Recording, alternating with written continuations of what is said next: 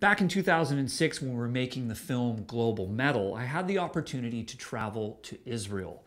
And I interviewed Kobi, the lead singer of Orphaned Land, overlooking the old city of Jerusalem. And you know, it's hard to escape the news these days, and there's a lot of divisiveness in the world right now. And looking at this interview 11 years later makes me realize how relevant our conversation still is today. Checking microphone, one, two. Check one. Got it? Slate is up. Global Metal, Kobi interview, take one. Just uh, tell us your name, tell us where you're from, and then just tell me about um, about the band Orphaned Land, and particularly about you know the the philosophy of the band. My name is uh, Kobi, and I'm the vocalist of Orphaned Land. Originally, I come from uh, Jaffa, which is a small city near Tel Aviv. So the band exists for 15 years, uh, started as Resurrection, a very ordinary death metal band, and then we decided that if we want to contribute something to the world and to the metal scene, we need to do something that really has something to do with the place that we come from.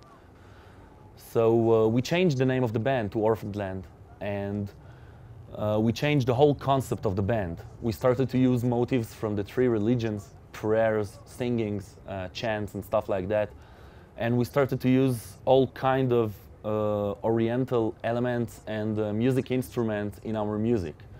And at the end of the day, it created a very new style of metal music, which, is, which was never uh, known before to the metal scene because everybody knows a Norwegian black metal or a Swedish death metal and so on, but this, this was the first time that you could actually uh, reach uh, an Israeli metal band.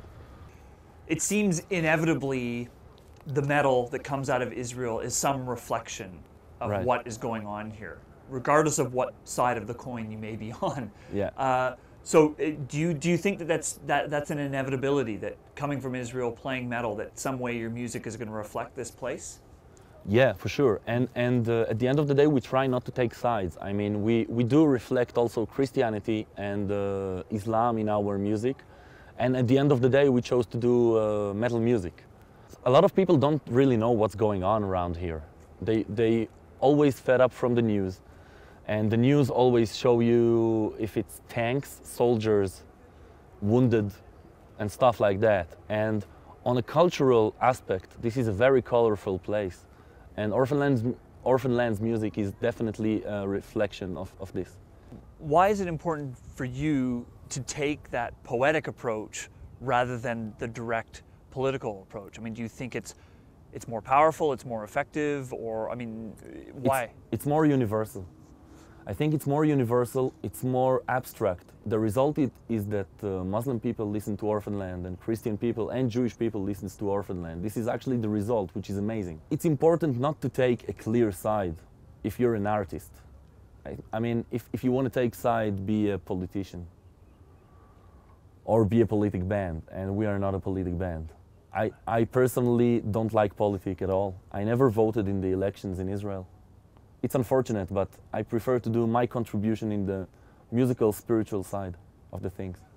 And uh, the result is amazing. I mean, we created friendships with so many cultures and, and when we played in Turkey, you could have seen in the, in the crowd Syrian people and Israeli people singing the same songs of, of the same band. So I think that once a Syrian guy and, and if an Israeli guy found a common song that they both like, then this is the first sparkle of communication between them. And they can be friends because they found something in common. So this is very much important. And we deal with the light because look, look at this darkened place. I mean, if we will think about the dark, we did nothing. There is plenty of darkness in this world. I think this is why we should speak about the light, mainly. Could you describe the Orphaned Land audience and, and that unique aspect of it? I think the Orphaned Land, the Orphaned Land's audience is sometimes surprised even from themselves. In an Orphaned Land concert, you can actually see metalheads, but you know, with everything, with the jackets, the piercings, the tattoos, the black outfit, the Morbid Angel shirt. And then all of a sudden they dance like they are in some kind of a synagogue party. This is amazing actually because you, you I wouldn't imagine to see it in, in the metal scene. And I wouldn't imagine to see a metalhead doing anything else except headbanging in a metal concert. So they jump, they sing with us, and they say the prayers with us, even if they consider themselves as atheistic. It doesn't matter. This is the harmony that we try to create.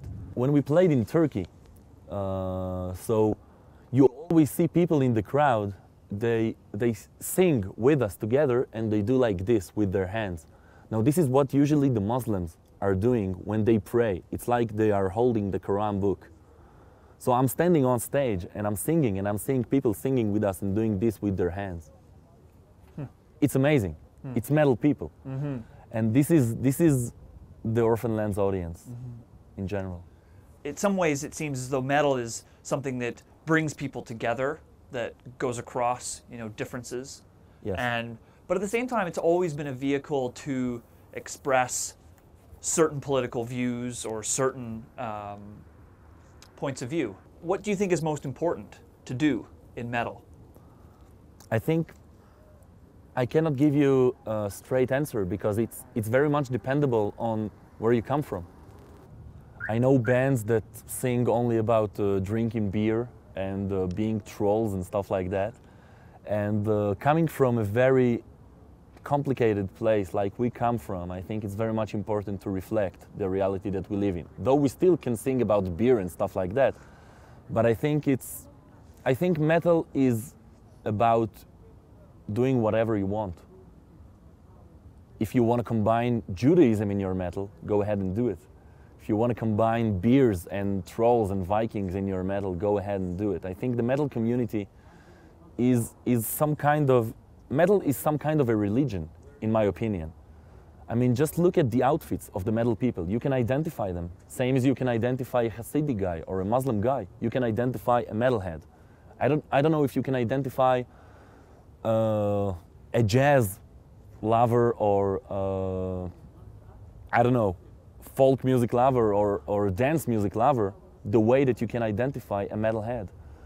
And this is, this is the most beautiful thing about metal. It's very open-minded, though we look very strict.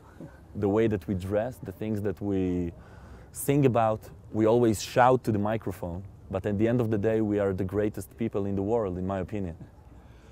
I mean, there's an odd contradiction in that, though, because so much of metal is anti-religious. Right so like a lot of it, right? You right. think about the history of metal. Maybe 99%. Exactly. Yeah. And yet you're saying it is religious. So is that a contradiction? It is. Because you can be anti-religious, but just look at yourself. You are a religion. Metal is a religion. Yeah. The outfits, the habits, you've been to Wacken, it's Mecca. They all come there and worship metal. They buy the merchandise, they buy the CDs, they headbang in the concerts. That's what it is. So you can be anti religious, but maybe metal is some kind of a new religion.